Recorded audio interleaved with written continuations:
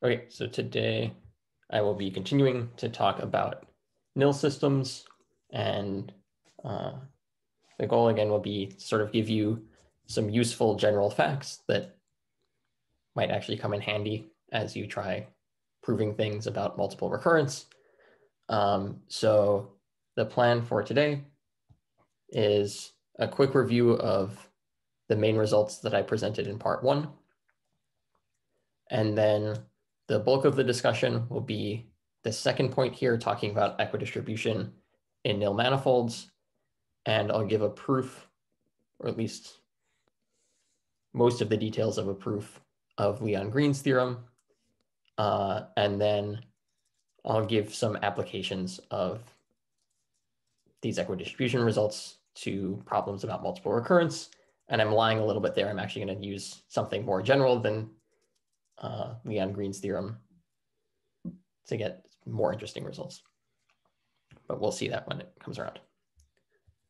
Okay, so just a reminder from last time, here are all of the definitions of things that we'll need to talk about nil systems throughout. So a nil manifold is this quotient space of a locally compact nilpotent Lie group by a discrete co-compact subgroup. And I didn't write up, but you know, the example to think about is maybe G is this space where you have ones along the diagonal and real entries in the upper triangle, and then your co-compact discrete subgroup could be something like this. So this was the Heisenberg group and is a useful example to think about for nil manifolds. Okay, and then G acts on this space X, and there's a unique measure, unique Borel probability measure that's preserved by all of these translations by G that we call the Haar measure. And then a nil system is if we just take translation by a specific element of our group and use the Haar measure.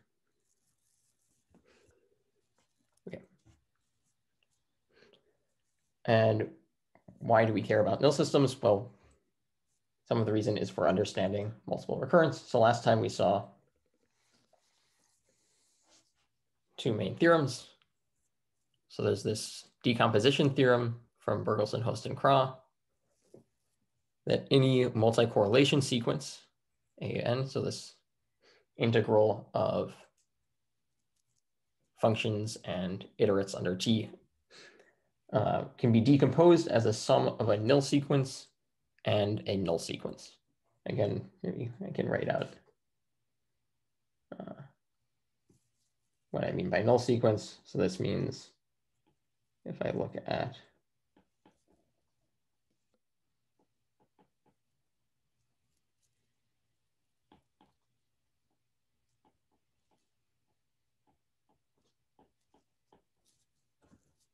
this expression, it goes to zero.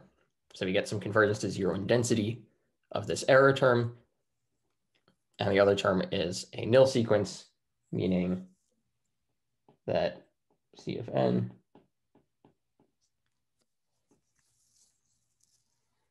is, maybe I want to use some other, let's call it S, or maybe G.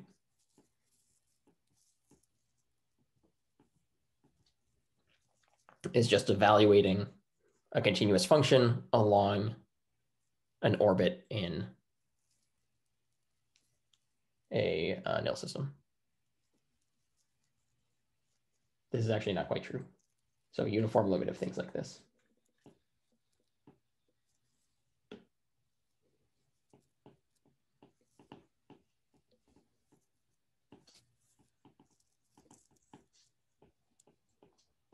Basic nil sequences.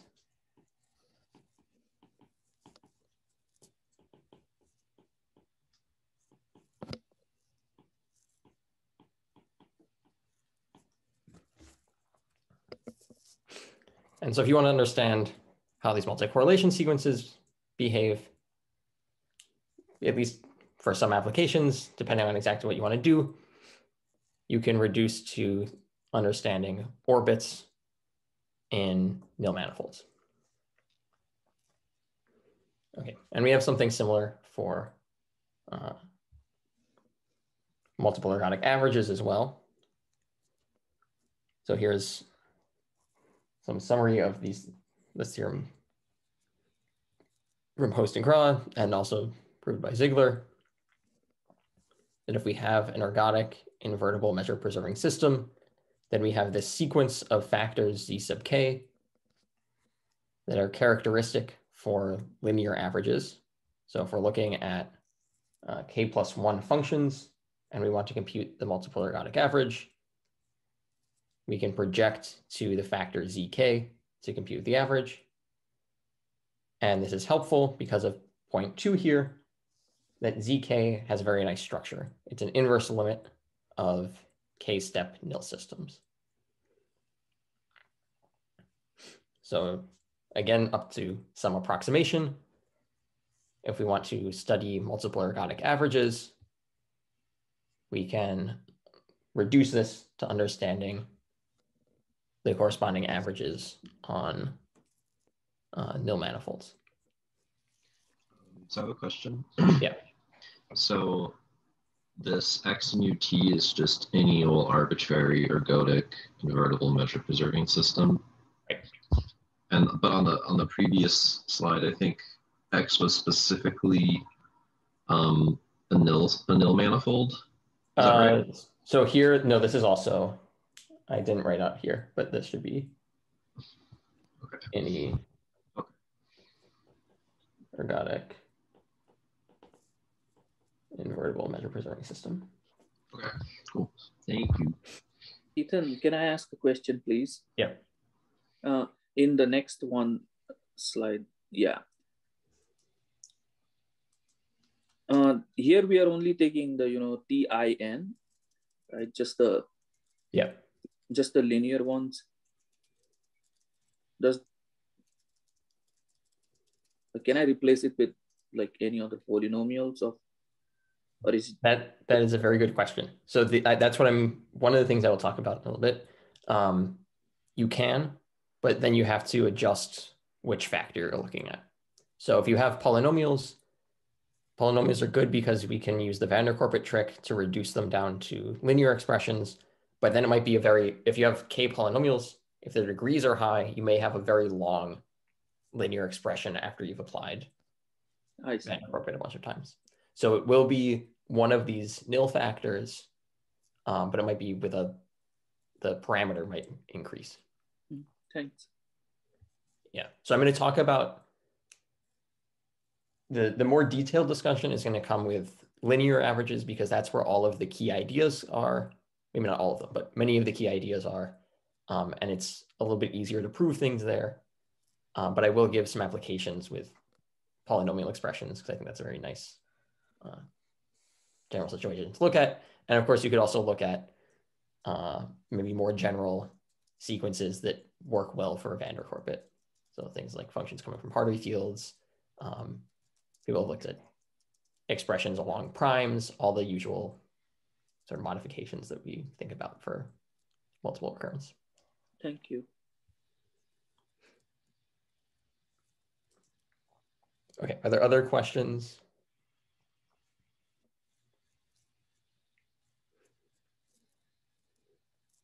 Okay, so now I kind of want to think about maybe this theorem here. So what this says, again, maybe up to some approximation, as I said before, we have this multiple ergodic average. If we want to know the behavior of this multiple ergodic average, we can look to a nil factor and then approximate by a k-step nil system. And if we want to know things about convergence, even where this limit converges in special situations, we want to understand these multiple ergodic averages in nil systems. And the way to sort of get our hands on this is by understanding equidistribution on a nil manifold. And so I have this sort of motivating question here. So it's a little bit vague, but from that last theorem I showed you, this is a very natural question to ask. What can we say about these diagonal orbits, g to the n x, g to the 2n x, up to g to the kn x in nil manifolds, where x is some point. Right, so we're looking at this diagonal because this is going to be like this uh,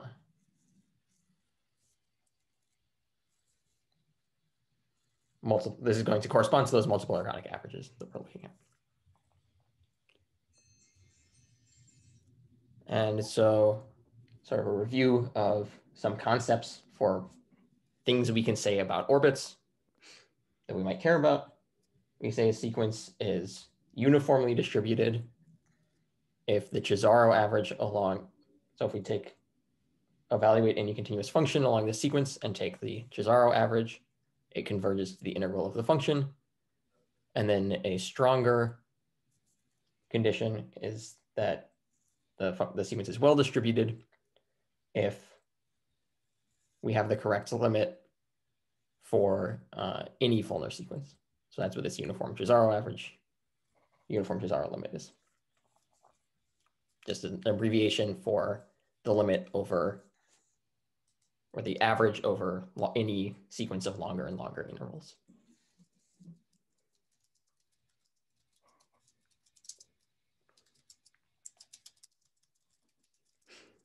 Okay, and so I'm going to first remind you or introduce to you a statement about equidistribution for compact abelian groups, since that's sort of the first level of uh, understanding nil systems.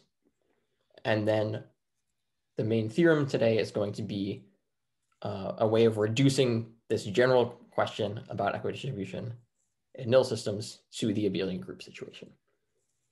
So here's a theorem if we're looking at abelian groups. We have all of these equivalent conditions. So we take an abelian group and some element of the group that we're going to use for a group rotation and all of these statements are equivalent, that the orbit and alpha is dense in the group is the same as saying it's uniformly distributed, is the same as saying it's well distributed. And then the fourth condition is uh, sort of a generalization of saying that alpha is irrational if we're thinking about rotations on a circle.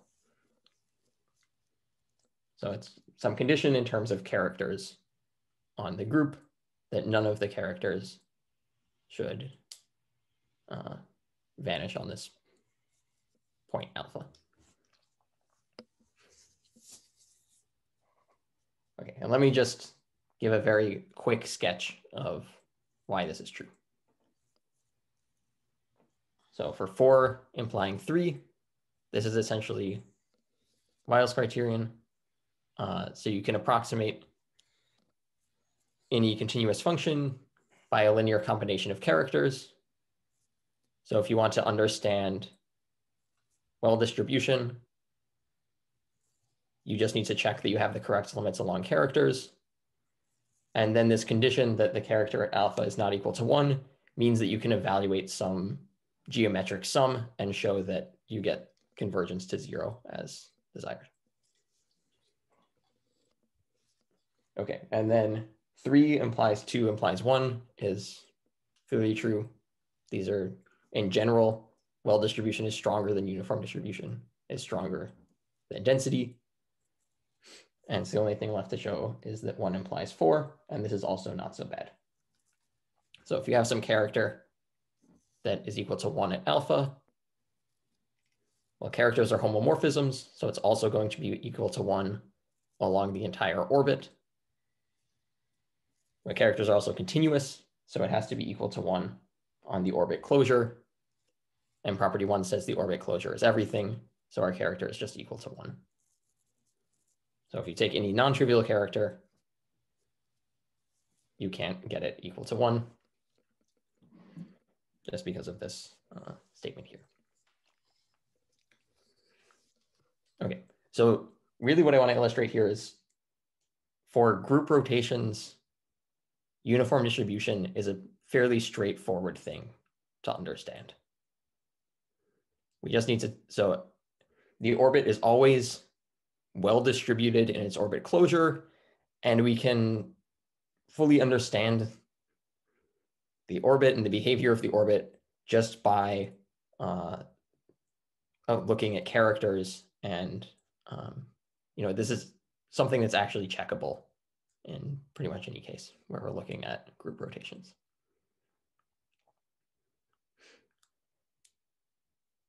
Okay, so are there any questions on the situation for compact groups?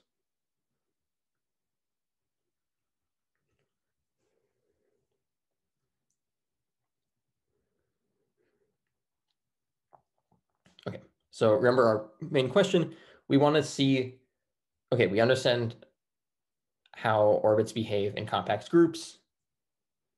What about nil manifolds and nil systems? nil systems seem like quite a bit more complicated as objects to study. Um, but we're going to use our knowledge about compact groups to get our hands on them. So I need to start by sort of setting up some notation here so that I can state Leon-Green's theorem. So I'm going to let X be a k-step nil manifold. And I'm sorry to interrupt, but I just want to yeah, check. Yeah. Is Leon Green one person or are they two? Okay. I uh, made a mistake about that when I sent the email today, but yeah. good to know for future records. Yes, this is one person is Leon Green. Um, yeah. Okay. So what is the context? So we're taking a nil manifold. Sorry, Ethan. Um, are you yeah. using the full name in order for us not to confuse him with uh, Ben Green? So I honestly don't know. It's any everywhere I've seen. Uh, this seems to be standard to refer to it as Leon Green's theorem. Thank you. Um, so I'm sticking with that convention. Um, but yeah, I don't know who started that as the convention. Well, I guess Green is a fairly common last name. Yeah. There's also like, is this this isn't the same Green as Green Tao's theorem? Right. So this is this is Leon Green's theorem was uh, I think in the 60s. Yeah. Um, yeah, it's not so maybe partially to avoid confusion with Ben Green, who uh, has proved important results in this area. So yeah, that'd be reasonable enough.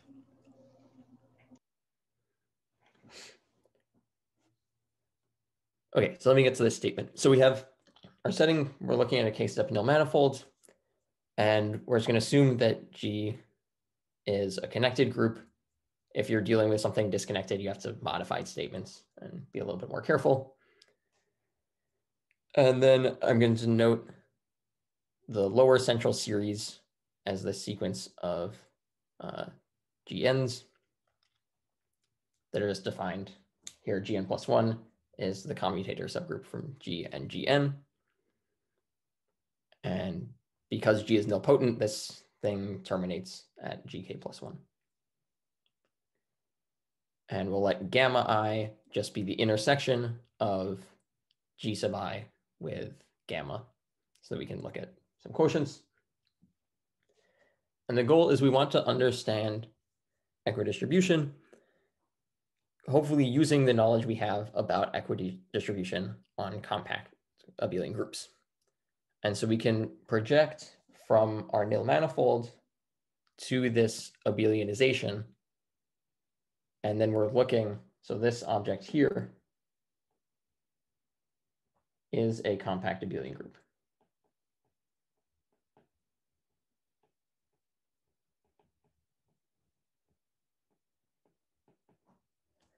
Okay, so it's compact because gamma was co-compact.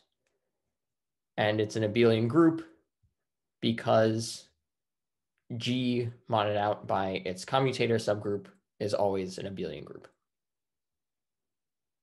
So just I don't know how important this is, but just for my edification. And like what order does it happen here? Do you mod out the um, commutator subgroup and then after that mod out the discrete co-compact subgroup? Or do you like multiply the discrete co-compact subgroup by the like what's the order of operations here? That's my question. Uh, i think those are the same. Okay. So this is uh, maybe I, it's possible I'm wrong, but I, I think if you multiply G2 with gamma, consider that as a subgroup and mod out G by that subgroup. That's what I'm talking about. Or you can think about it as uh, G mod G2, and then you mod that out by gamma, that you maybe need to be careful there because gamma doesn't actually sit in G mod G2. Yeah. Okay. Cool. So it's not quite the sec. So I guess it's not quite G mod G2, then mod gamma, because you need to maybe take some projection or intersection or something to make that make sense. Um, but these are maybe both reasonable ways to think about it.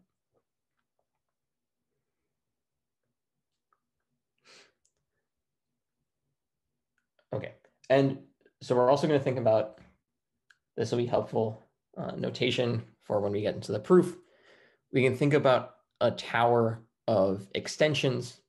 So X1 is just a one point space. And then we have this tower of compact extensions up to the nil manifold X, where the ith level in the tower is just G mod GI gamma.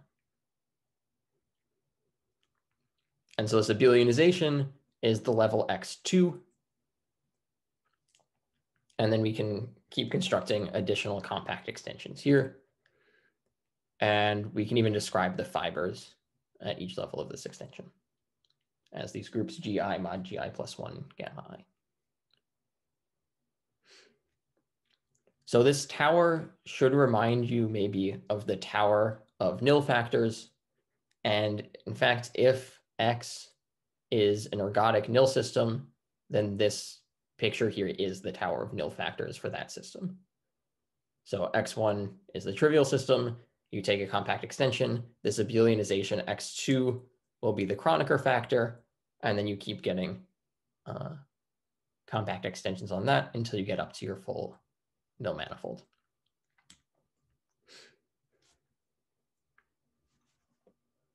Okay, and now I can state Leon-Green's theorem, which is going to have some similarities with what we saw in the compact group setting, and in fact reduce equidistribution on nil manifolds to equidistribution on compact groups. So following are equivalent for some g and x. The orbit is dense in the nil manifold.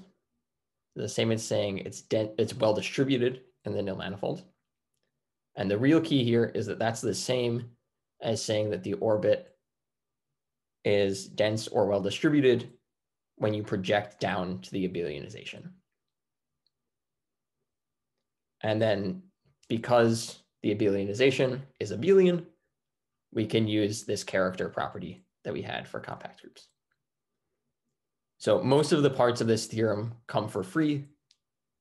The real content is that three implies two. Um, this also might be a trivial point, but why are you writing gn times pi of x instead of just pi of gn x? Uh, it doesn't make a difference. We can think about, so the group G acts on all of these spaces xi and commutes with pi because it's just pi is a factor map, if you want to think of it that, that way. So if I could put it inside or outside pi, it doesn't make a difference. Okay, yeah, that makes sense. Thanks. And I guess the reason I want to write it outside is because I'm going to be thinking about the group acting at these different levels of the tower.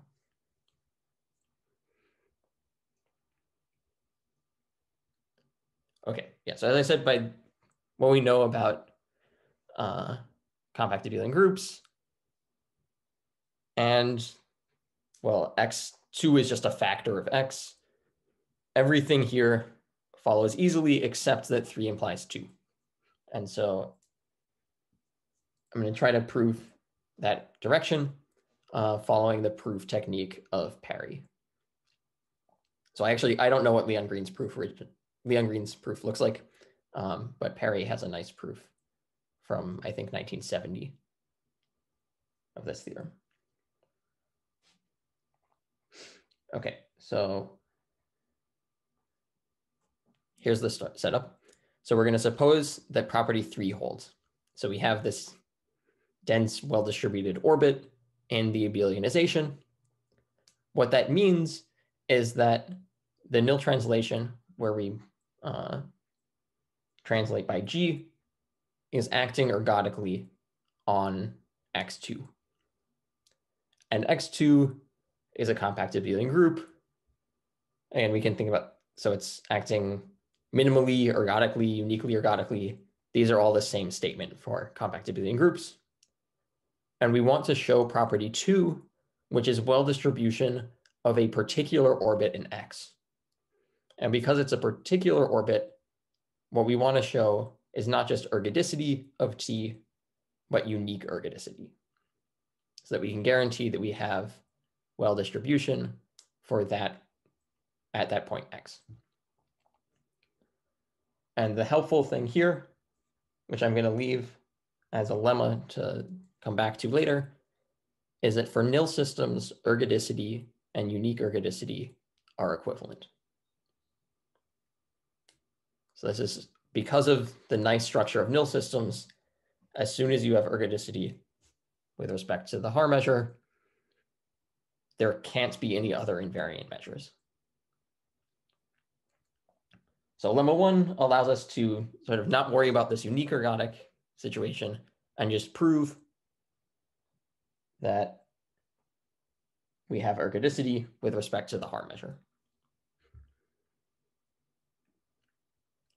And now we're going to use induction. So we're assuming that X2 is ergodic, and we fully understand what happens for compact groups. And we're now inducting on the step of nilpotency. So we know X2 is ergodic. We're going to assume that we've shown that we can lift that ergodicity up to the step k minus one and now prove that we can lift it one more step up to uh, step K, which is the step of our nil manifold that we're actually interested in. So we'll assume that this system, uh, right, so that xk is ergodic, and we're trying to prove that xk plus one is ergodic. And I think, let me just make sure I actually wrote that correctly. Yeah, right. So x, x is equal to xk plus one. xk is a k minus one step, the manifold.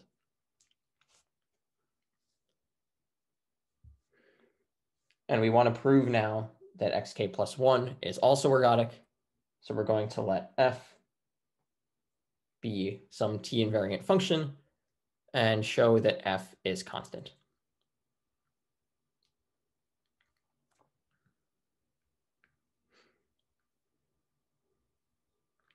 Okay, so how do we do this? If we look at the group GK mod gamma K, this is going to act. So GK is, remember we've taken our lower central series and now we've stopped just short of the last part. So GK is the abelian group that we get and then uh, the next step we'd get the trivial group. And everything in GK, it's even better than abelian. It commutes with all of G because of how the lower central series is constructed. And so this compact group now acts on X and the action commutes with the action of G because the commutator group of G with GK is the end of this lower central series. It's a trivial group. And using this or auxiliary action, we can decompose L2 as a direct sum of T invariant eigenspaces for the action of GK. So anytime we have sort of commuting actions like this, we can get this nice decomposition of L2. And then we can just assume that f is sitting in one of these eigenspaces using you know, sort of standard arguments about linear combinations and so on. We can reduce to just assuming that f is one of these uh, eigenfunctions for the action of gk. So f of c times x is some character evaluated at c times f of x for any c coming from g sub k.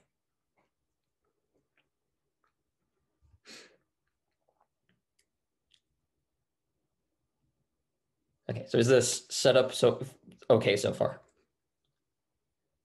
So now the goal is going to be showing that this character lambda is equal to one. Well, that's part of the goal. So, so if we can show that lambda is equal to one, then we can use the assumed uh, ergodicity that we have on the system xk to conclude that f has to be a constant function because that would give us, right? So if, if lambda is equal to one, then we have an invariant function for the action of gk, which is going to mean that we have uh, a constant function by the assumed ergodicity. And this is where some sort of clever arguments come in to understand this character. Okay, so just from star. All right. Well, where did you? You. Never mind. I was about to ask where you use the fact that the actions commute, but I think it's in the fact that the subspaces are T invariant. And, right. Yeah. Yeah. That we actually have a nice decomposition of the space. Thank you. Okay, so if we look at star, if you take absolute values of both sides, oh, sorry, this should be GK maybe.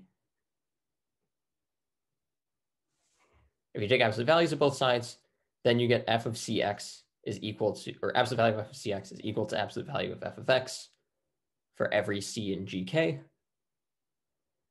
But we're assuming that xk is ergodic, so that means that absolute value of f has to be constant.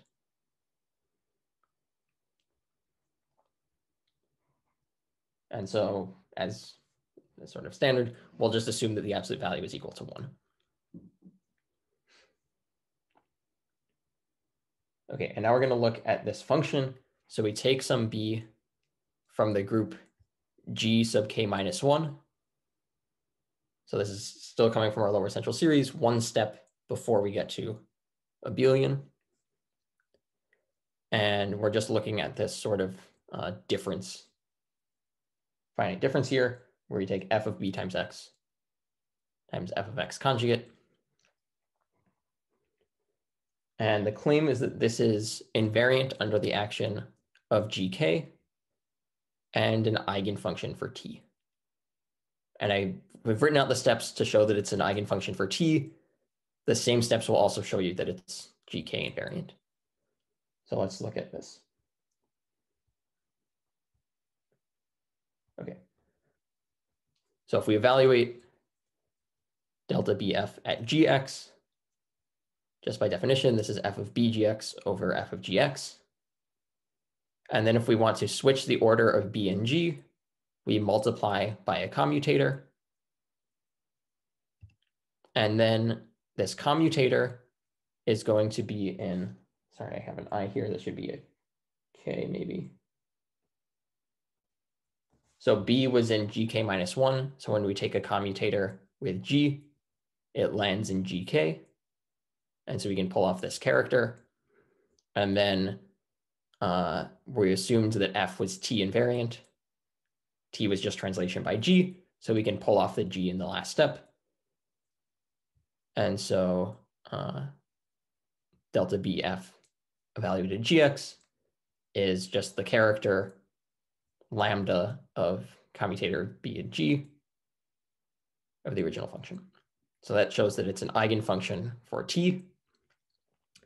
And if you took something from, if you replaced G with something in GK, then when you do this commutator of B with something from GK, you're going to get one.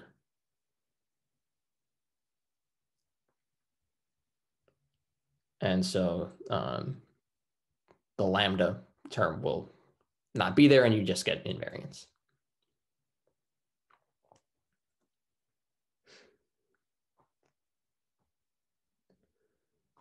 Okay, and this is really useful.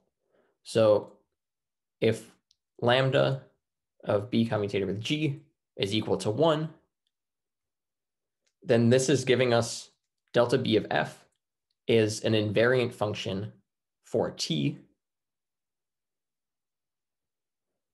And so using, um, sorry, so it's gk invariant. So using ergodicity of, uh, no, that's what I meant. So yeah, so if that's equal to one, then what we've shown is uh, some t invariance. And so uh, because of ergodicity of xk, this function has to be a constant function. Because delta b,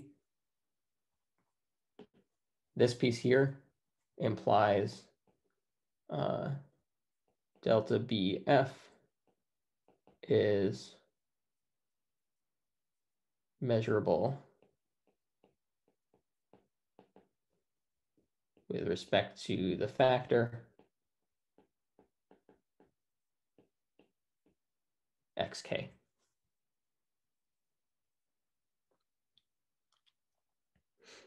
Okay, and if this character is not equal to one, then again using ergodicity on the factor xk, we can write the integral as the limit of some Cesàro averages. And now we're taking a limit along uh, some non-trivial value. So t to the n is going to be like lambda of this commutator to the n. Since it's not equal to one, you can express the geometric sum and show that this limit goes to zero.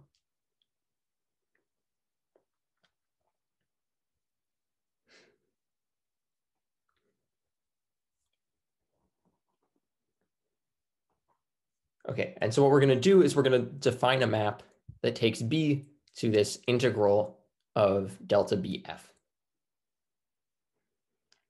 And this map is continuous just because of how it's defined. We also know that when b is equal to 1, this integral, so lambda of 1, a commutator of 1 with g is equal to 1. And so the integral is going to be equal to 1.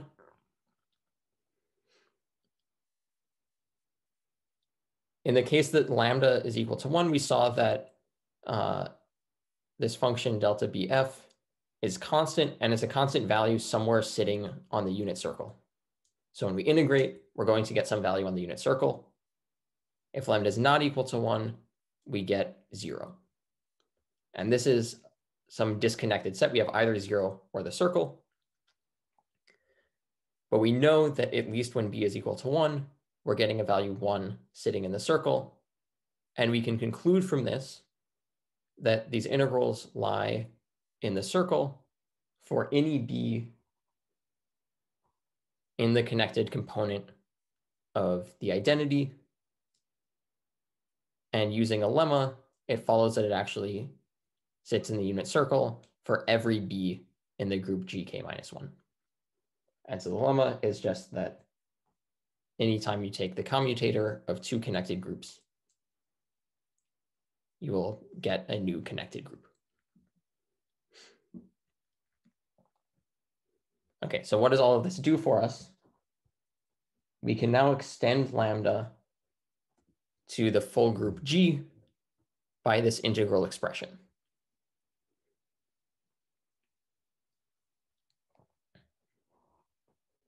And what we just showed above is that on GK minus one, lambda takes values in the unit circle, and it's a homomorphism, just from the definition. So lambda at B1, B2 is equal to this ratio of these functions.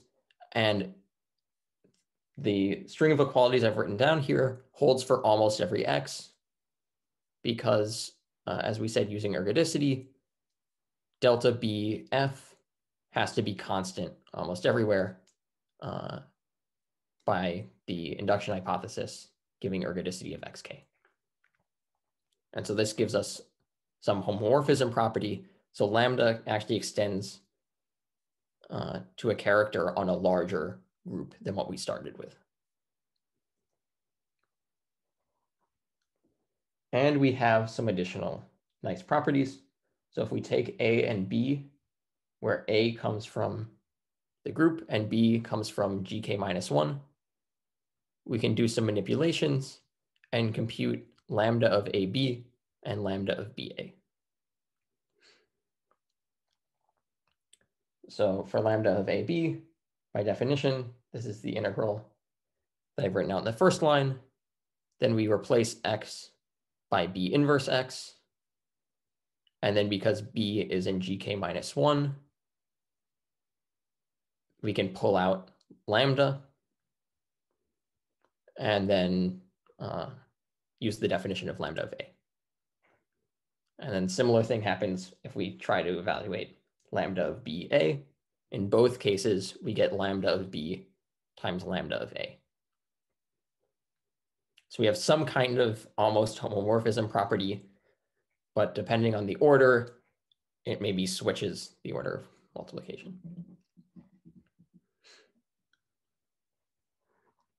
And really what we want to use here is just that these two expressions are equal to each other. So if we look at lambda of b times lambda of a, one way of writing this was lambda of BA. Well, BA is AB times the commutator of B with A. And then the commutator is sitting in GK. So we can pull that out of the expression. And then lambda of AB is also lambda of B times lambda of A. So lambda of b times lambda of a is equal to itself times lambda evaluated at the commutator.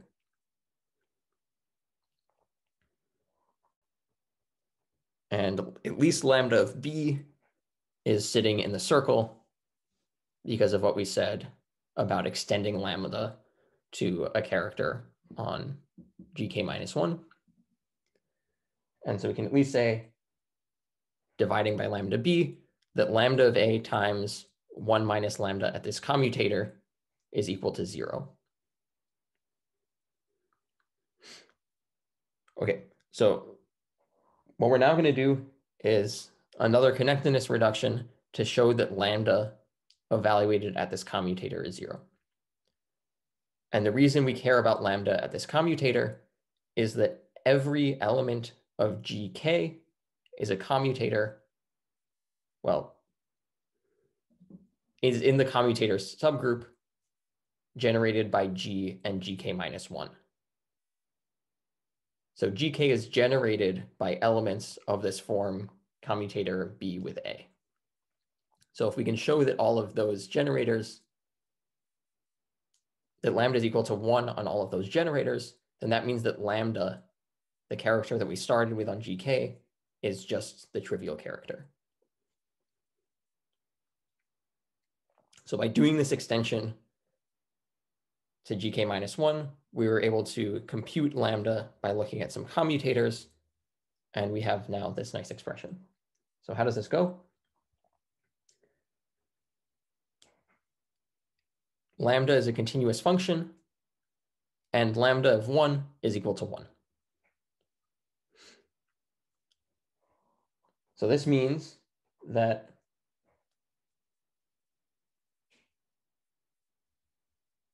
for any a in some neighborhood of one, we have to have lambda of this commutator equal to one.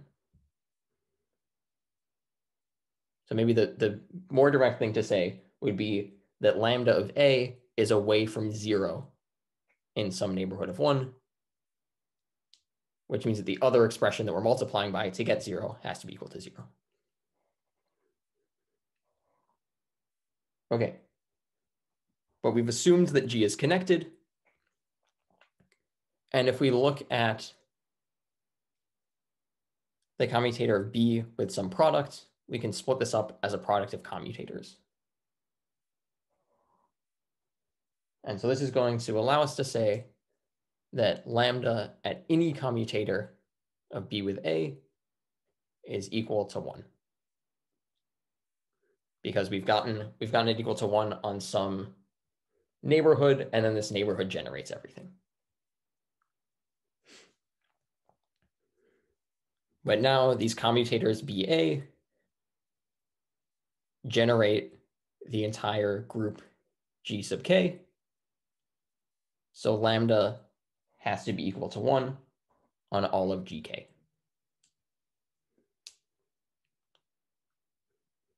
Okay, and so where did lambda come from? It was this eigenvalue associated with the action of gk on the function f. And so what we've shown is that eigenvalue is equal to 1. So f is gk invariant, just from assuming that f was t invariant.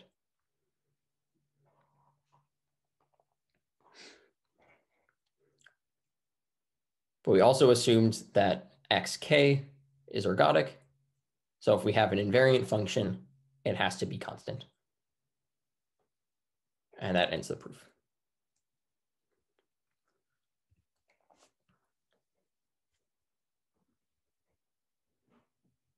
Okay, so there's maybe a lot to digest here.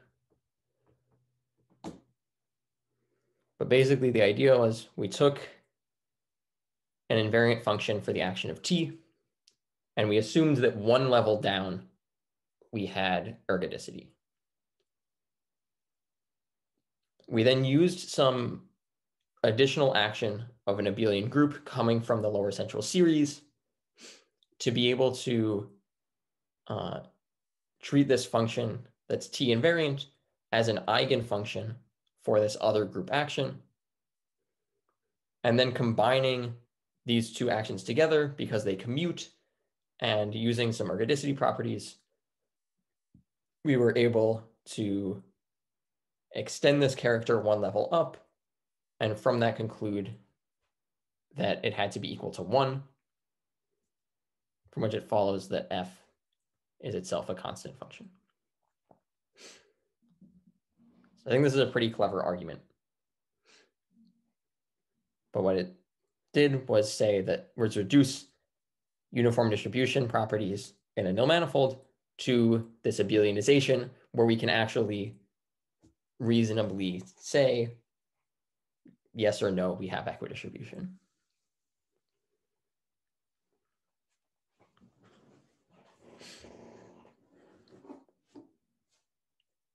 Okay, so are there any questions on Leon Green's theorem or anything you want to see back up in the proof? I mean, if you could just wait one moment, I am uh, slightly confused by oh, oh by the uh, claim about commutators, even though it's looks like something basic. So I just wanted to do the calculations and mm, yeah i so you're saying g is connected and then the commutator of b comma a1 times a2 is equal to the commutator of b comma a1 times the commutator of b comma a2 is that Am I reading that correctly? Mm-hmm. I possible I've written something in the wrong order, maybe. I mean, I'm multiplying those two commutators on the right hand side, and the b's are not canceling. So the right hand side has four b's, and the left hand side has two b's. Um, maybe this uses something about nilpotence, and is b uh in like GK minus one or something? Yes. B is in GK minus one. Okay, so maybe I could work out the rest of it with that extra detail later. Right. That would explain why I was confused at, at the beginning. I'm good for now. Thank you. Okay.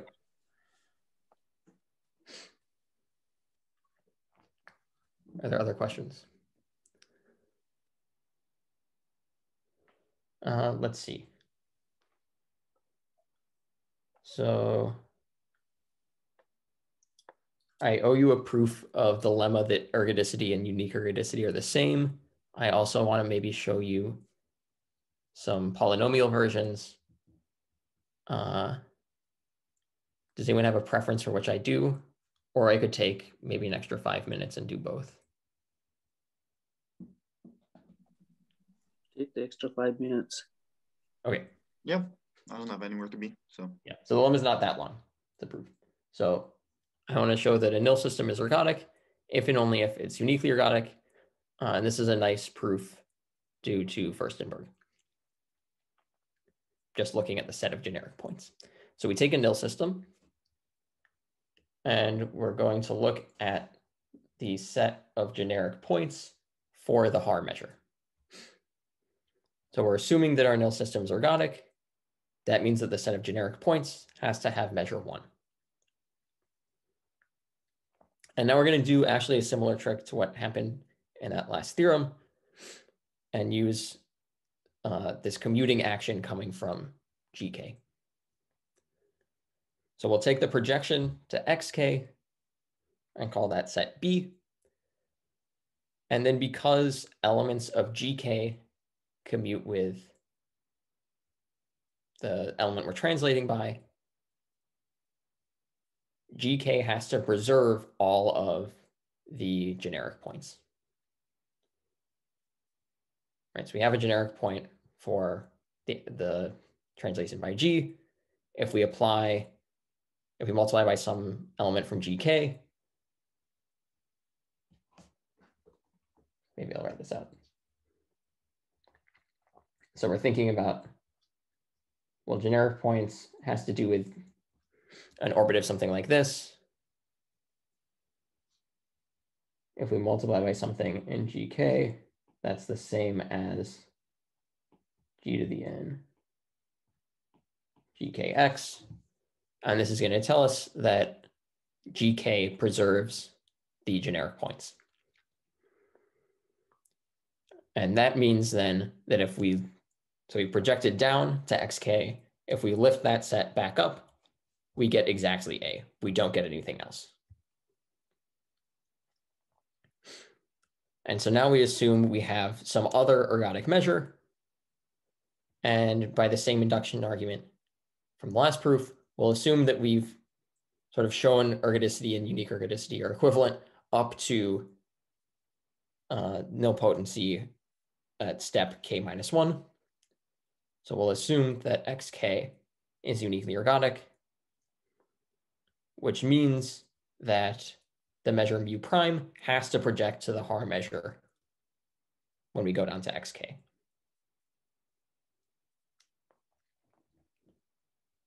And what does that mean? So mu prime of the set of generic points is mu prime of the preimage of B. So that's equal to the Haar measure of B. But then mu x also projected down to that. So mu x at the preimage of B has the same measure, but the preimage of B is just A, and that's equal to 1.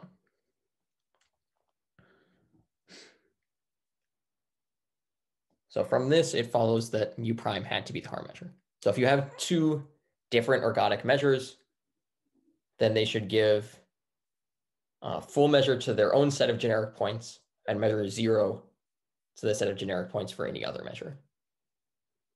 But this shows that for any ergodic measure you take, the set of generic points for the Haar measure has measure one. So everything was just Haar measure.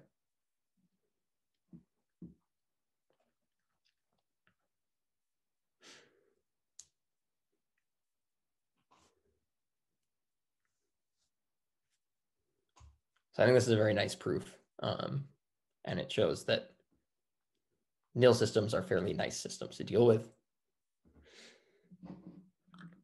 Showing ergodicity and unique ergodicity are the same. Also, um, you know, I'm still reading this, but I think Andrew asked you a question in the chat. Oh, sorry. Uh, is pi i k? Uh, okay, pi k a. Why is this measurable? Um,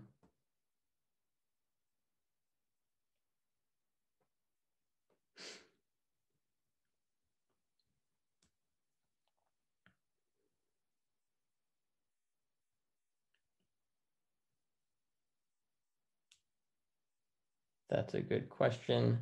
Um, so I think I I would need to I don't have the details right off the top of my head. Um, I think the fact that generic points commute with the action of GK should help with that. Um, but there is maybe something to check there.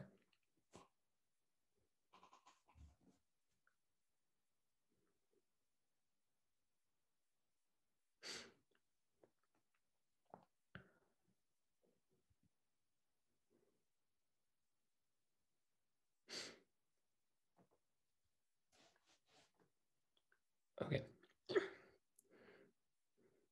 So are there other questions on this lemma?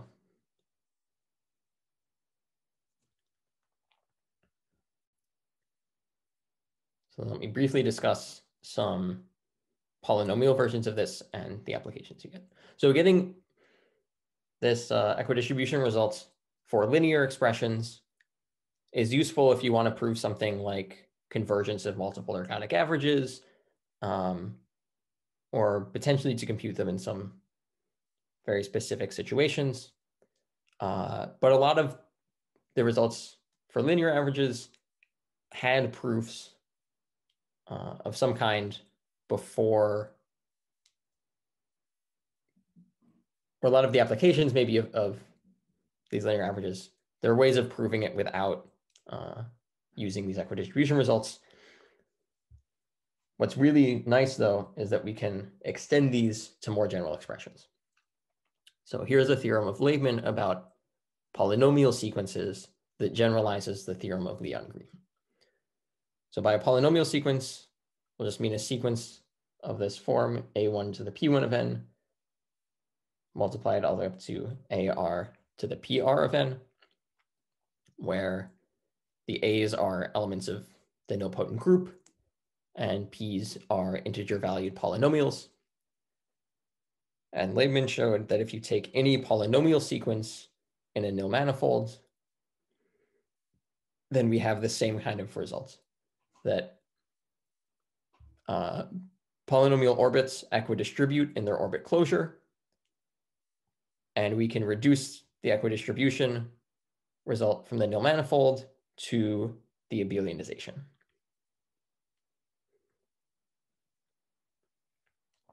And the additional piece of information that makes this very useful is that polynomials behave nicely with the van der trick.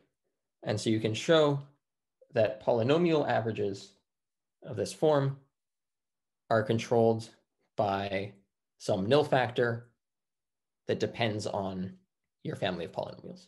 So as I said earlier, this parameter R could be very large if you have high degree polynomials, but it's preserved, it's controlled by some nil factor, and that's enough to prove all sorts of things because we can describe equidistribution of polynomial orbits in nil manifolds using Leibman's theorem. And so some applications of this that are really great are I've just given on this page. So there's the theorem of Bergelson, Leibman, and Lesigne that gives necessary and sufficient conditions for polynomial Szemerédi theorem.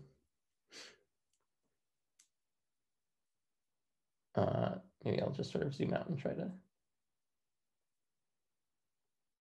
So I think probably some combination of the, some of these theorems are maybe familiar. So using Leibman's understanding of equidistribution of polynomial orbits, you can tell exactly when uh, polynomial Szemerédi theorem holds. It's this intersectivity property.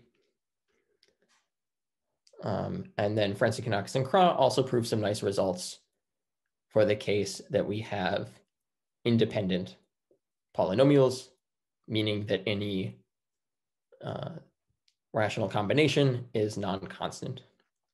And so they showed by reducing, by looking at these nil systems, that for totally ergodic systems, multiple ergodic averages for independent polynomial families converge to the correct limit, and that also gives you a uh, Khinchin type recurrence result.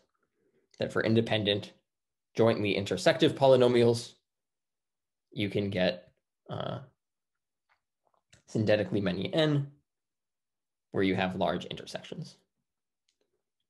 So all of these results, at least one of the key tools is reducing to nil systems and then applying equidistribution results of Leibman to understand uh, some multiple ergodic averages.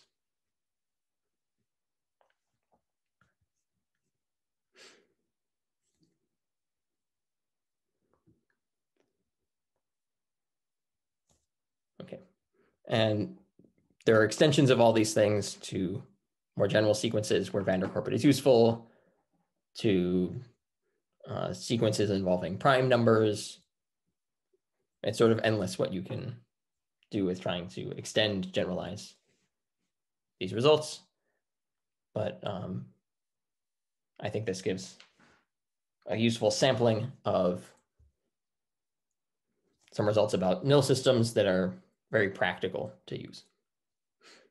Um, and so I'll end here and see if there are questions.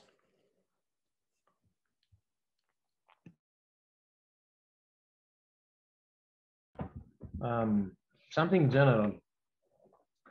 Uh, I don't remember how they proved the the very last theorem that you wrote. I do remember that they are doing some algebra and uh, and also they are using the the previous result about the convergence to the right limit. But um, do we have something general when you have, say, uh, convergence to the right limit for uh, ergodic uh, systems? To, to get to get the, the the very last result, to get correct, uh, to, to get Khinchin type results. So what you you need to show something that's slightly stronger.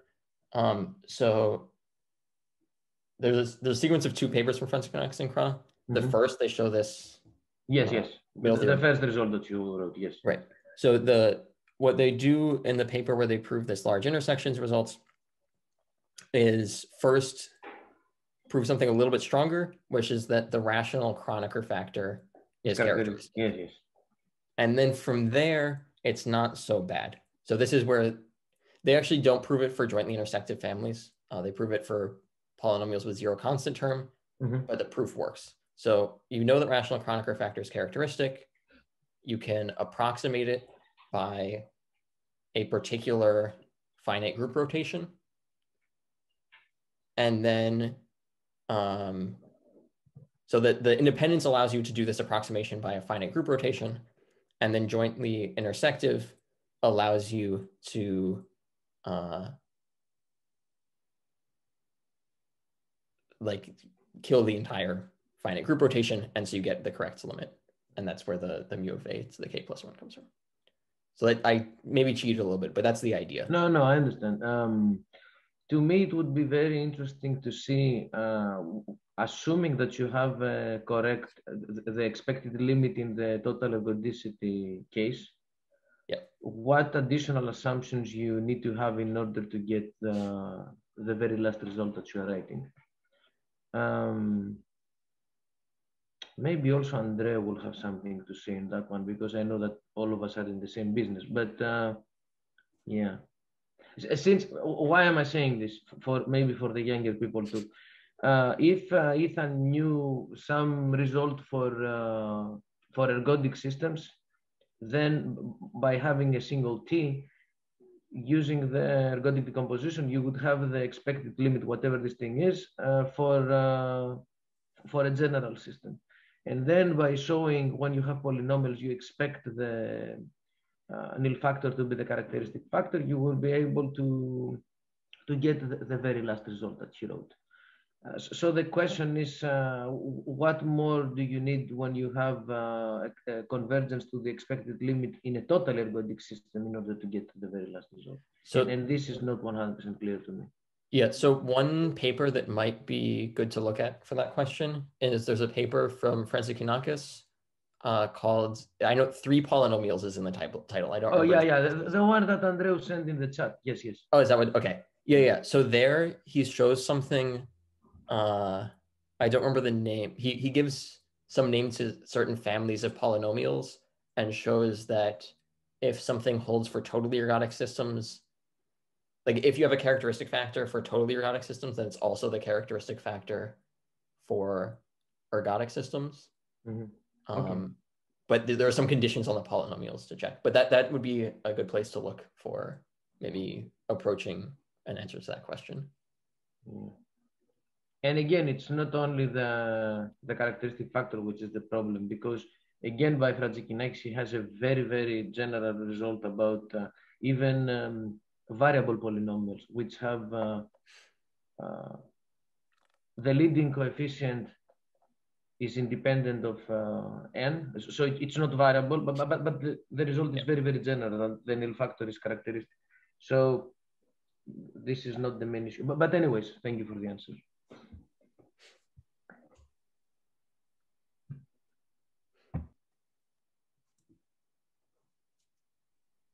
So we can thank Ethan again, Sohail, and you can kill the recording. Thank you, Ethan.